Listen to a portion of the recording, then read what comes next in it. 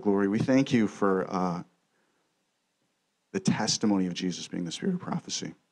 Lord, that you are making all things new. We just thank you for uh, this man, his testimony of, of finding you, Lord, in prison, and then finding that someone he loved had found you at the same time. Lord, I just I pray that that would be something that is stirring in our hearts all day. Lord, just the way that you are orchestrating salvation around us in ways we can't even see it. Lord, would you, I just thank you for what Samantha was praying for, for hope. Lord, would you give us hope? That we wouldn't run out of hope, Lord, for the bride coming forward, that we wouldn't run out of hope for the, the great harvest, the multitude without number that will stand before the Lamb. Every tear wiped away. That we be, that we're part of a, a company of people, Lord, that will see you and will live with you forever. In Jesus' name, amen. Anoint me as I speak about these things. In Jesus' name, amen. Okay, Cry at Midnight, Part 4. You, will get the truncated version today because I know everybody's probably hungry. Uh, we've been talking for the last uh, few weeks because uh, I've gotten a, a, little run here about getting ready to meet Jesus in re- related to the parable of the 10 bridesmaids. And so last week we were kind of talking about the elements of readiness, the way that Jesus, he's actually really clear about what it means to be ready. And once we start to see the way that he tells this story from Genesis to Revelation, then we can know with confidence what a lot of the terms mean. That the church actually spends quite a bit of time arguing about what these terms mean or what the reality is. What is grace? What is salvation? Can you lose it? All of these things, they start to actually dissolve when you just get the basic story that Jesus is telling Genesis to Revelation. So what my goal is is to kind of go through the different elements of the parable of the ten bridesmaids, or what I feel like the Lord has told me to do, is go through the different elements of the parable of the ten bridesmaids and kind of make the connections throughout the Bible so we can see the parable of the ten bridesmaids is really, it's just another piece of, a, of the same story that the Lord is t- telling from Genesis to Revelation. And if we can grab onto it, the story, it unlocks a ton of scripture for us. We can actually understand really simply, in a way, once you see it, you can't unsee it, what the, the Bible is talking about. So, Lord, I just pray that. Would you open the word to us today? Okay, item one the kingdom is a family. Because of the fall, a wedding is necessary.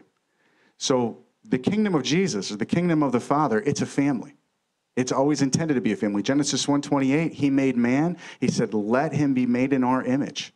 And then he said, I want him to subdue creation. Like he gave man a job to do that was part of the family business of God, a creative job. Man is different than every other creature. In fact, in Genesis 128, we've talked about this in the past.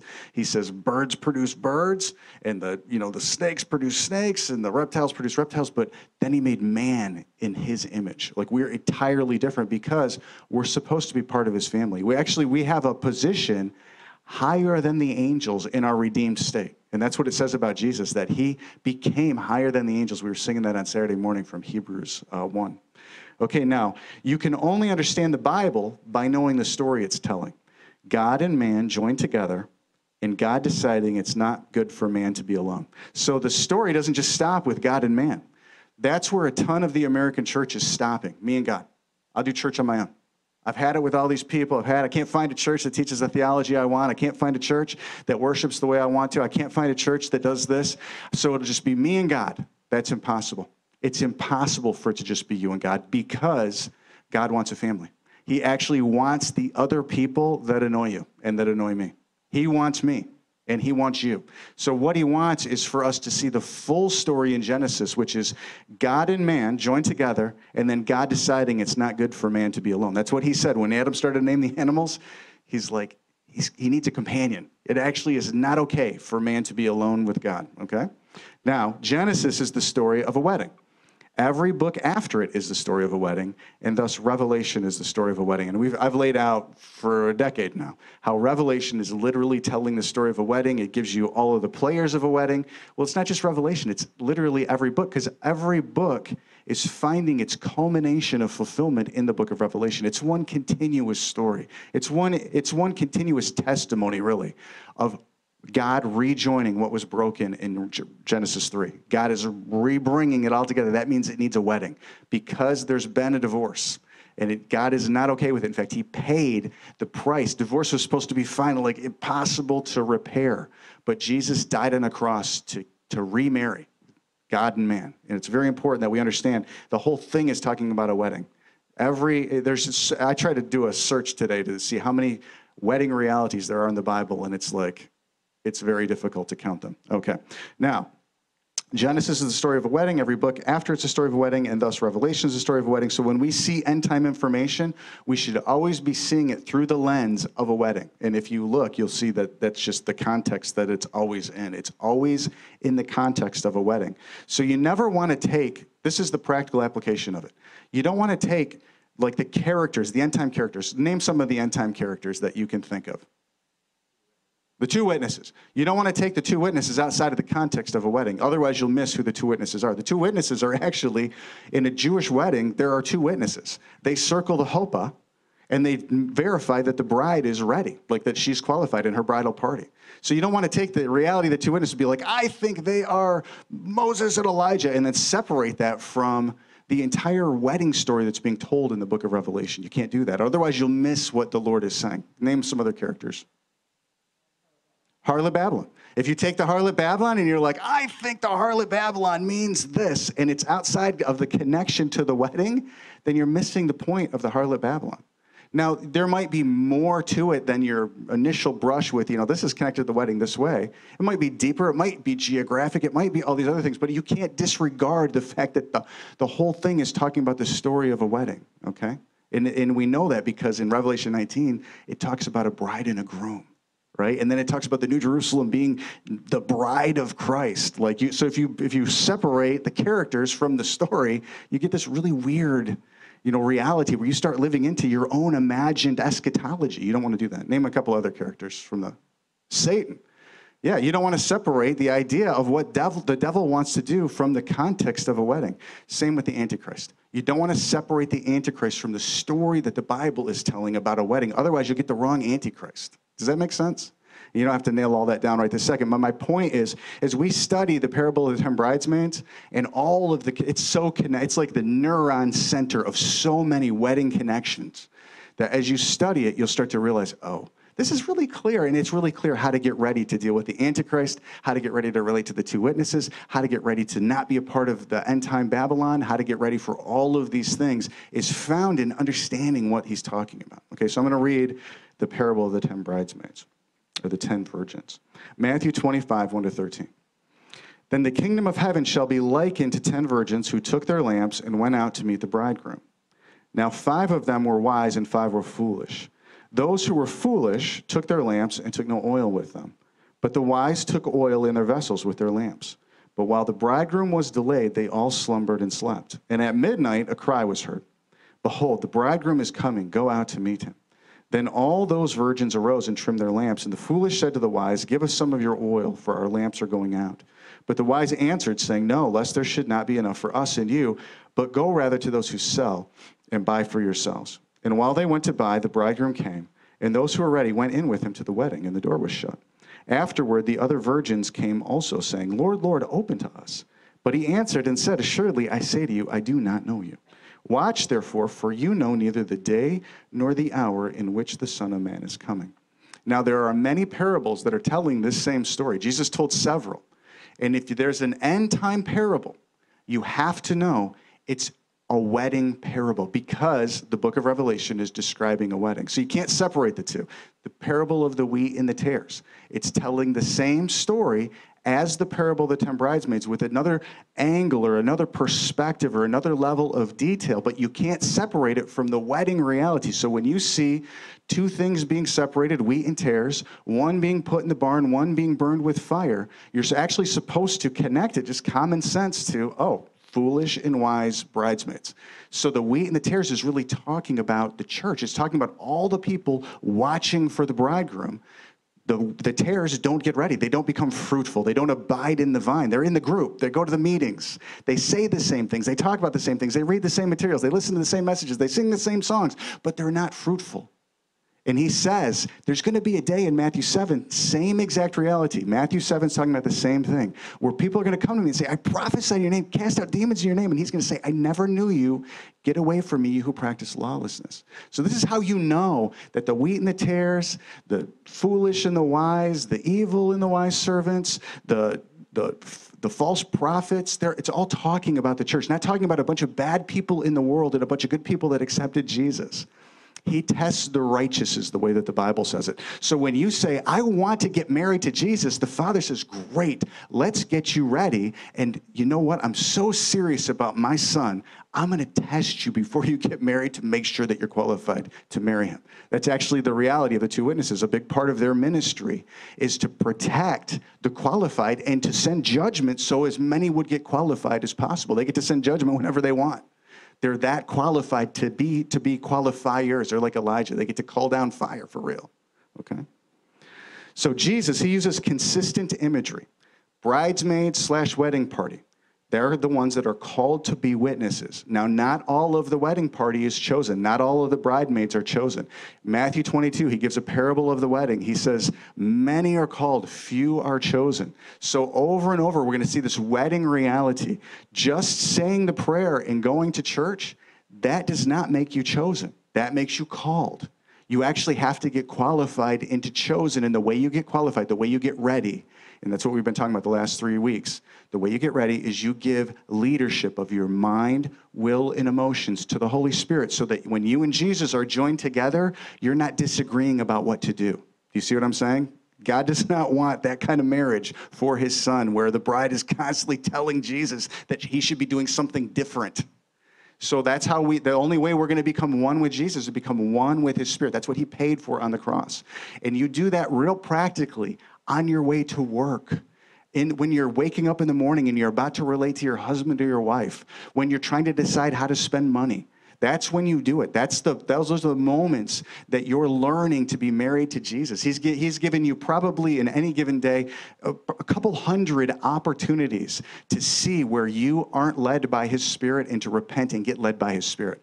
And if you do that, what happens is your life becomes more anointed. It becomes more powerful in God. You become more faithful and you become a witness that it's possible to live in a different leadership structure than is taking the world where it's taking it. That's Babylon. The world trying to get together and agree on how to fix this mess. That is Babylon. When the church does it, that's the harlot Babylon. Do you see what I'm saying? So you got an adulterous reality in the church trying to agree with a Babylonian reality of let's build a tower and save ourselves. That's the harlot Babylon. Does that make sense? Okay. So lamps. This is consistent imagery through, through from Genesis to Revelation. Lamps are the eye, what you use to behold, what you what you choose to value. The the lamp of the of the soul. It's your eye. It's like what you want. What do you want? That's a good thing to ask the Lord when you wake up in the morning. What do I want today? Why am I feeling so anxious? What do I actually want to happen today? Why am I feeling peaceful? What do I want today? Why, why is my condition? Did anybody notice this that your emotional condition is different day to day? It's good to ask God why, like to be in, intentional about your emotions. Why, why am I feeling so great today? What do I want? Is that going to be disappointing? Is that what Jesus wants? Sometimes you can be really excited about something really, really negative. Do you know that? You can be really emotionally like, this is a great day because something really negative is, is in your desire and you think it's going to happen. Like winning, like getting way, getting one over on somebody. Like, you know, some people, they'll literally go to the store and they think, I got such a great deal. And they'll testify that that was the Lord that they took advantage of. I've heard it many times, that they literally took advantage of somebody else believers. Have you ever heard that before? That's, that's, a, that's a wrong use of your emotions. Like, we want to actually be mindful. Why am I feeling what I'm feeling? Like, is it what Jesus is feeling? Okay, because he says, sometimes I play the wedding dance and nobody wants to dance, and I play the funeral dirge and they won't dance to that either. Like, there's both. It's not just if you're happy, that's God. But there's a lot of people in the church right now that think that that's the case. If I'm winning, if I'm successful, if I got the money, if I'm doing better, that's blessing. That's not true. According to the Bible, that's not true. What's blessing is agreeing with the leadership of God so you're ready to marry Jesus and live with him forever. That's blessing, okay? The groom, that's Jesus.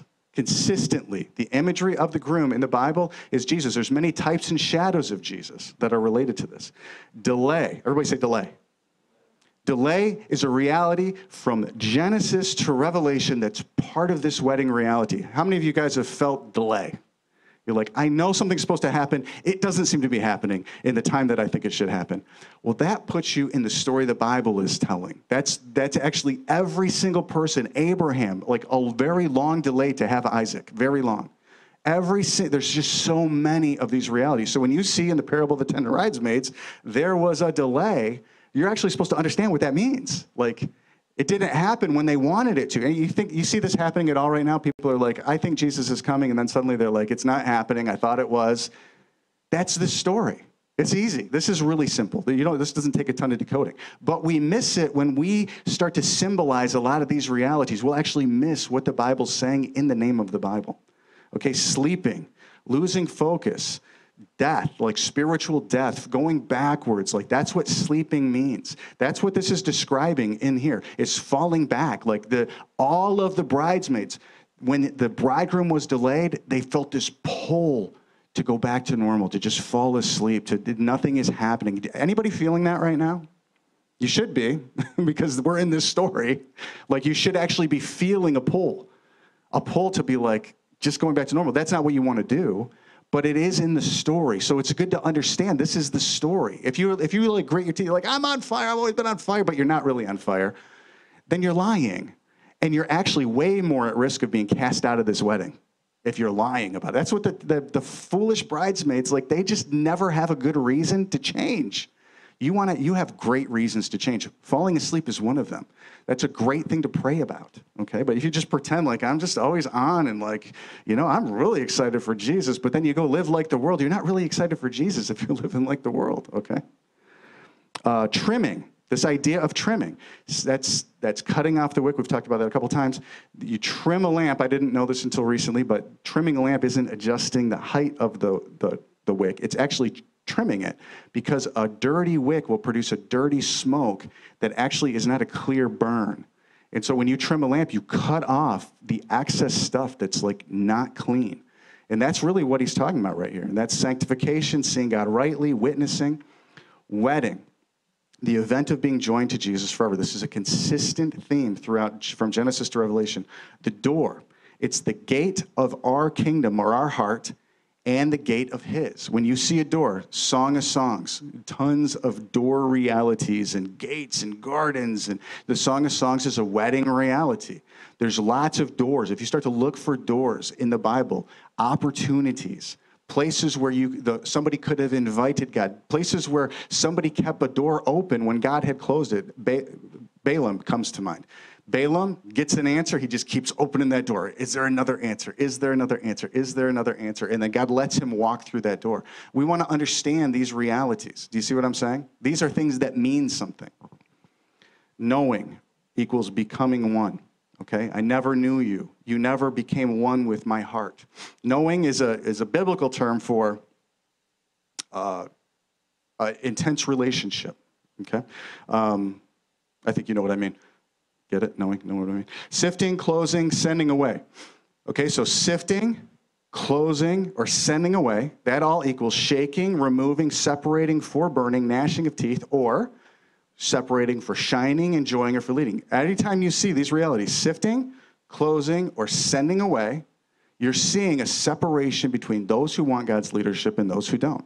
Those who don't want God's leadership, they're going to a lake of fire. There is burning. Those who do want God's leadership, they're going into a barn. They're going into a harvest. They're going into a fruitful reality. They're going into a marriage. They're going into, you know, oneness with God. Like th- these are really simple terms, but it's said in a variety of ways because we all have a heart that's unique, and we're all living with a different set of circumstances. Just appreciate Barbara's testimony. Barbara has a set of circumstances that actually define these terms for her. These mean certain things because of the way that she's lived her life. Annie has a different set of circumstances that she views these things through. So when we see Jesus like telling the same story a bunch of different ways, we can know he knows how to reach our heart. These words are alive. There are different moments where different parables will mean something to you when they didn't mean something to you the day before. And there's certain times when you're reading something and it's just moving your heart so much, you go back to it a few months later and you're like, I don't see it. Like I can't remember what it was that just impacted me so deeply. That's because you're changing, you're growing. And so we don't want to just be like everything has to mean X because I think it means X. What we want to do is we want to get a heart for the wedding story and let the Lord talk to us through these realities. But if we just in the flesh argue with each other about what every parable means, what whatever eschatology is, what all these things are, we won't get any closer to God and we won't get any more understanding. This spirit, this is a spirit inspired reality. You, you actually need a veil taken off of your face. A veil is a wedding reality. We actually need the veil pulled back, and we need to see Jesus more clearly and let him see us more clearly. That's part of the process of getting ready, okay? And, the, and there's a passage uh, that we're going to read here just a second because uh, it's the next thing in the notes, and I didn't realize that we were right there. Okay, so uh, understanding these elements will unlock huge portions of Scripture, under, and understanding to us if we'll learn to see these elements by the Spirit. Okay, so 2 Corinthians 3.15. But even to this day, when Moses is read, a veil lies on their heart. Nevertheless, everybody say nevertheless. That veil's no problem, is what that means. That veil's no problem. If you want to turn to the Lord, if you want to see, you want to get into your wedding, you want to, you want an inside look at what it's going to be like, turn to the Lord. Tell him, there's a veil here. I don't get it. I don't feel it. I want to. Nevertheless, when one turns to the Lord, the veil is taken away. Now, the Lord is the Spirit, and where the Spirit of the Lord is, there is liberty or freedom. But we all, with unveiled face, say unveiled, beholding as in the mirror the glory of the Lord, are being transformed into the same image from glory to glory, just as by the Spirit of the Lord. So if you want to get ready for your wedding, learn how to see Jesus. That's the point. That's who you're marrying. You go where you're looking, okay? And that's what we want to do. We want to study Jesus' heart, his emotions. We actually want to see, okay, Jesus, what do you think about the harlot Babylon? I can listen to 20 different opinions on the, on the internet about what people think about the harlot Babylon. How many times have you asked the Lord, Lord, what do you think about the harlot Babylon? You've got no right to argue with anyone if you haven't gotten revelation from the Lord about it. Do you see what I'm saying? It's Jesus' story. Like he wrote it. He's the one telling it. He's given us his Holy Spirit. We actually have to be willing to ask him what these things mean and to talk to him like the Antichrist, the timing of his return. All of these things, like we should actually be asking him. This is the most important thing in humanity's history. And we're mostly like, we just kind of want to argue with each other about it. Do you see this happening online? It's going to happen way more. As more signs happen and more people are convinced this is the return of Jesus, you're going to be tempted into more and more arguments about what these things mean. You don't want to do that. That's not ready. That's eating and drinking with the drunkards. That's the evil servants. Like, I got time to figure this out. I'll kind of hash it out with all my buddies. You want to talk to the Lord. Lord, what do these things mean? Okay? These elements all relate to some basic terms for God's for the people God is calling out of the world. I'm not going to belabor this point because we just talked about it. Item F: God takes everyone called and then sifts out the chosen. So the chosen, all the people that God is saying, "Okay, I'm going to move forward with you." This is the way that they're described in different parts of the Bible, and there's more than this. This is just the ones that I felt like I should highlight today. The wedding party, the bride, Israel, Israel of God is the way that it says it in uh, Galatians, and I'm going to read that passage to you in a second. Now, this is important because people misuse the term Israel of God. Israel of God is actually code word for replacement theology, but it's also a phrase in the Bible. So we want to know what does that mean, the Israel of God? What does that mean? Now, the, the, those born again of the spirit of prophecy. Now, the rejected, or those being sifted away or sent out, that's the harlotress or Babylon, or those born of the flesh, or Hagar. Hagar is a good story to see. Like somebody sent away. Why was Hagar sent away? Well, Galatians tells us because that was the, the son that was born of the flesh, but there was a son that was going to be born of the promise. There was one to wait for in faith and to be sanctified in, in agreeing with God's heart for the fulfillment of the promise. That's the reality between the bride and Babylon. The bride believes all the same things that Babylon believes need to happen. She just believes in a different solution. She believes in waiting for the promise of the Father. She believes in the, the child born of the Spirit, not the one born of the flesh. Babylon believes the same things as the bride, just wants them to happen now under her control. And so she tries to get agreement. Do you see this happening in the church right now? It's happening all over the place.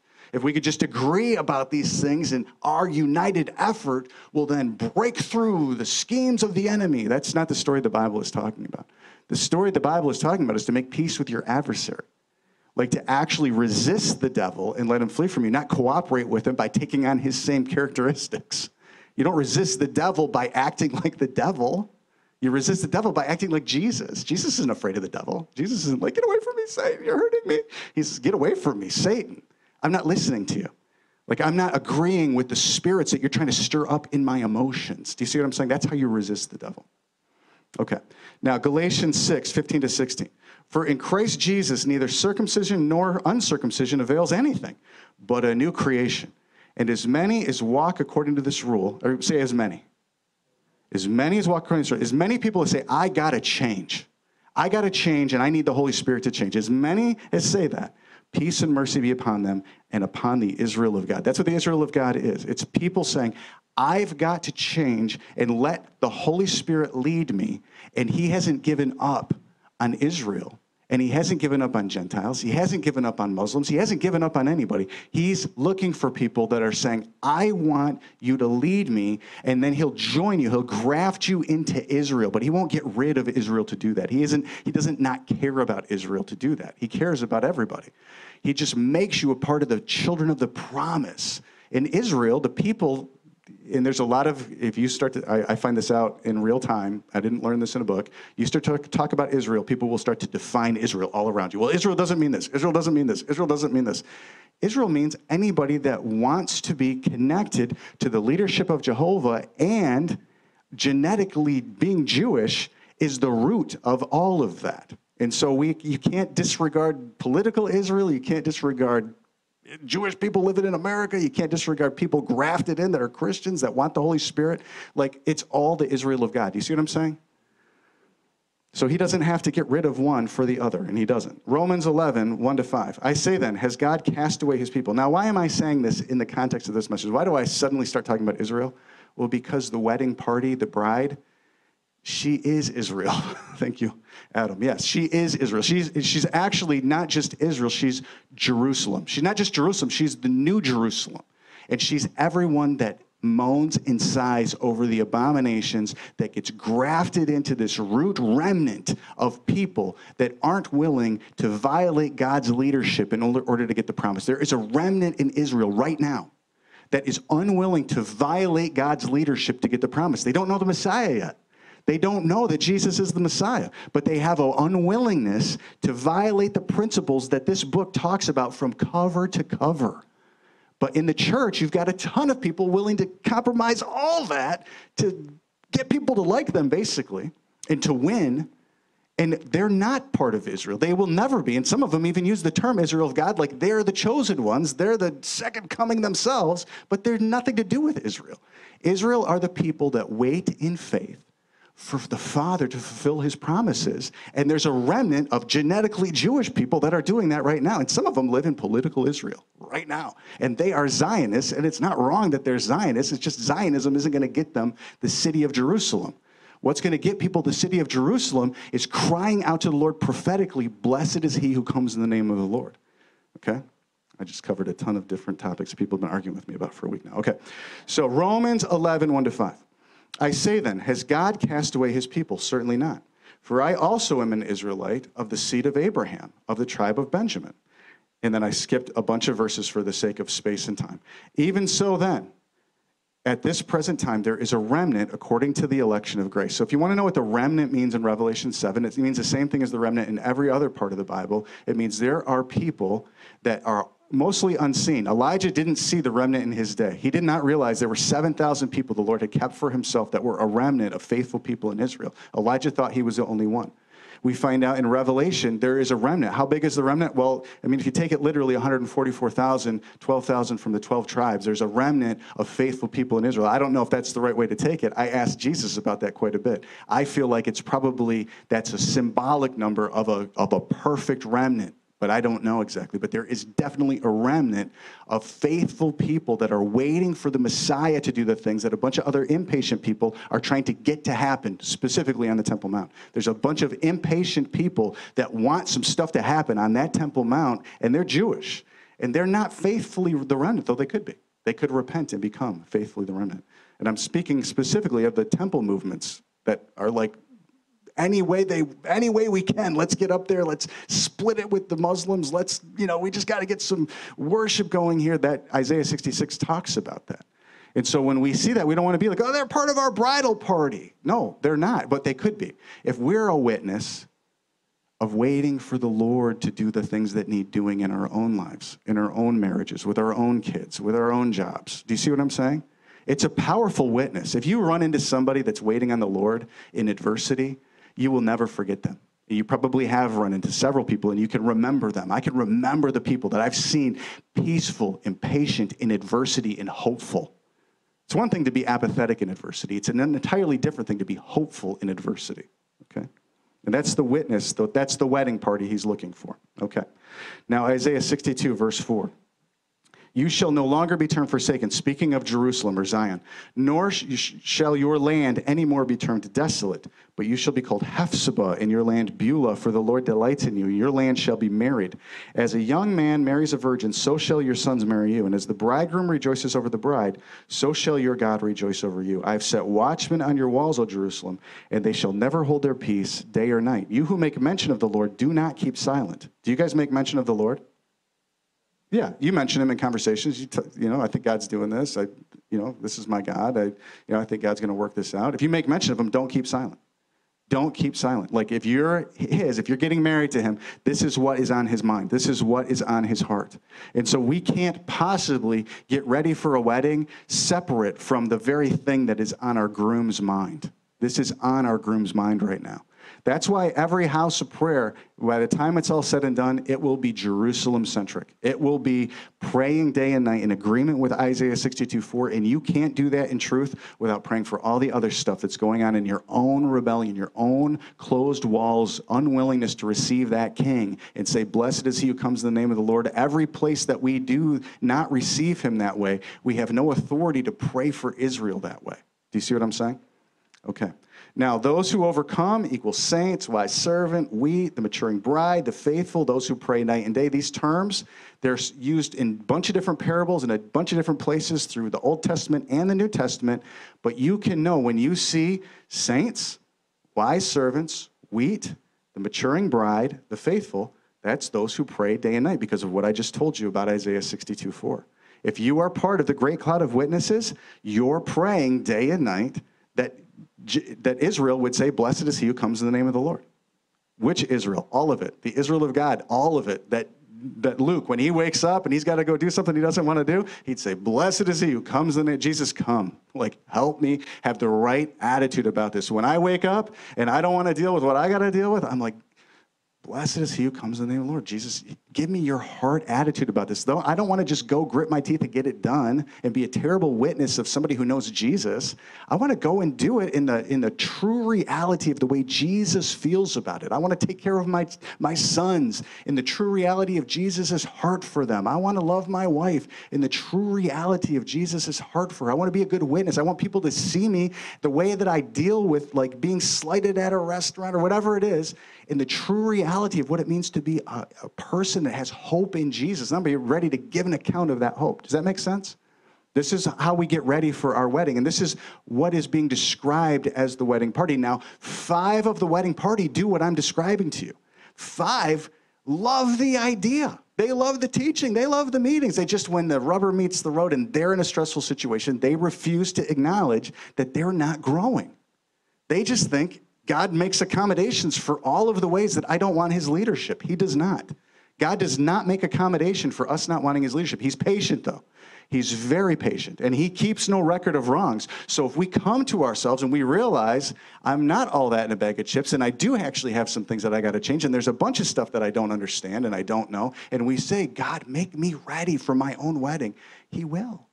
He will. And that happens like in the in the micro decisions, like two or three hundred maybe in a day that you're making.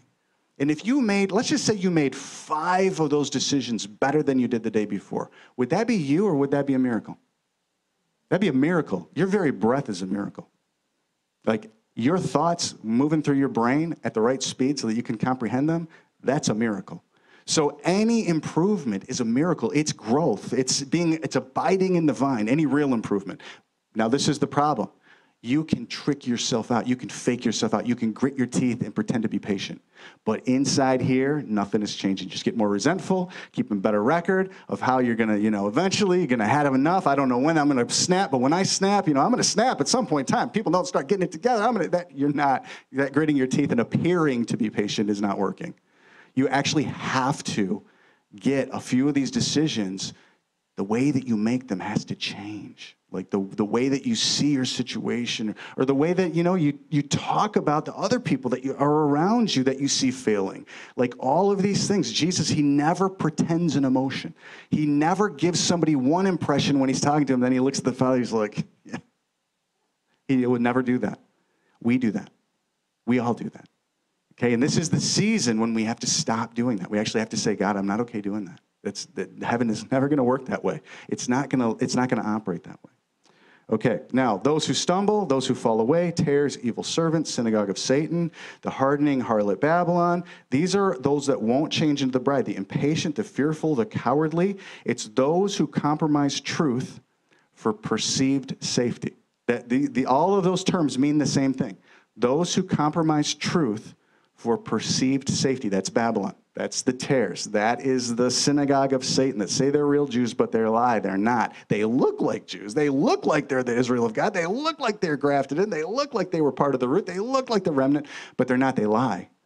They lie.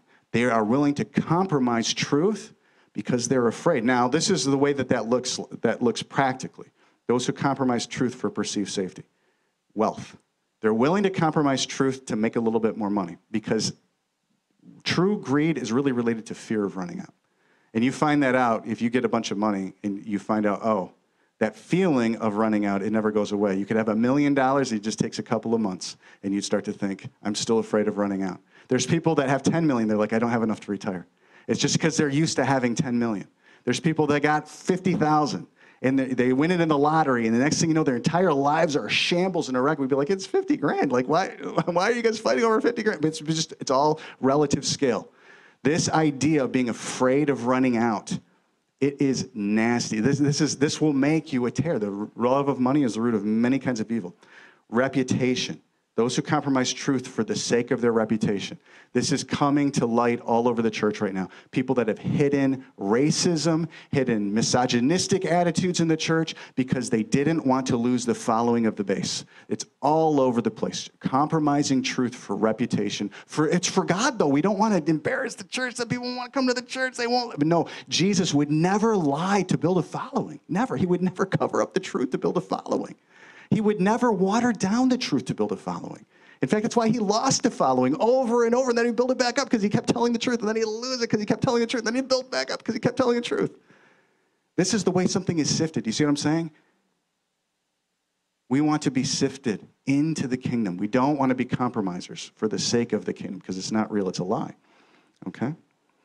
Um, position, acceptance. There's many people who will compromise the truth just to get accepted.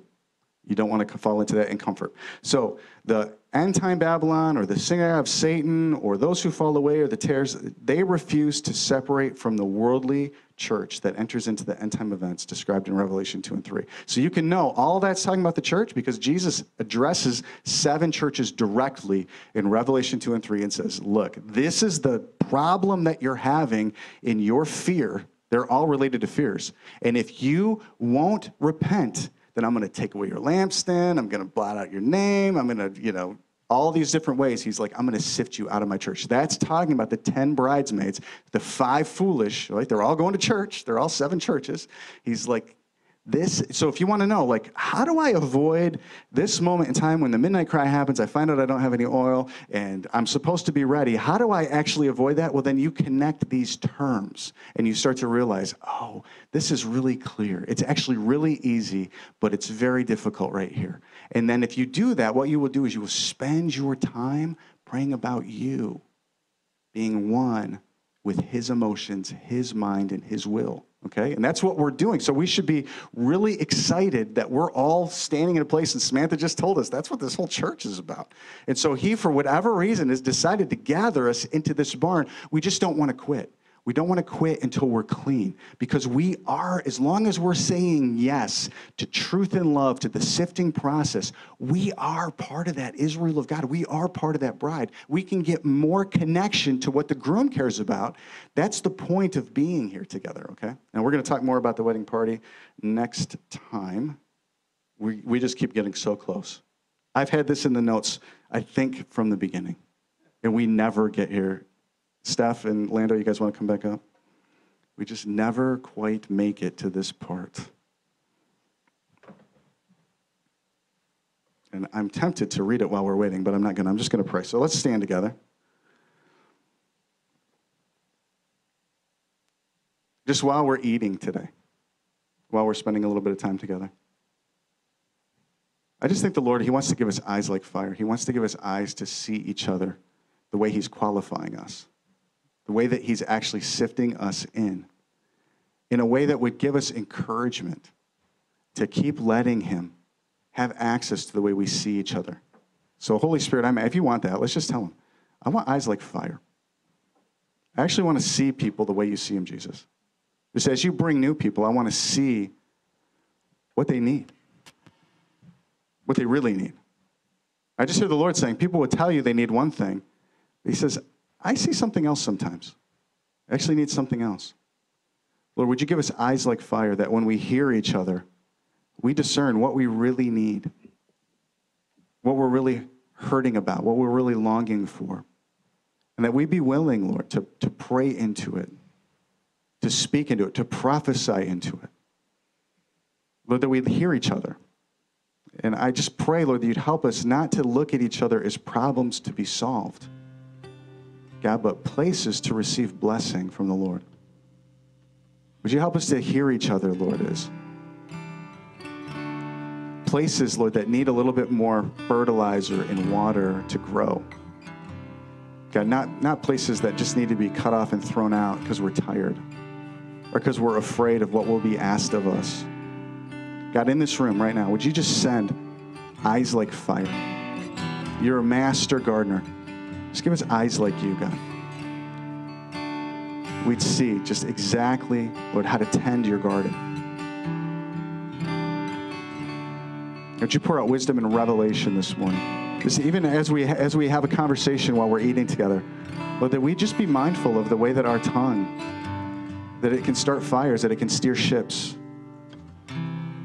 Would you help us to be mindful of your garden, of your your wedding party, Lord, your bridesmaids. Just help us be mindful.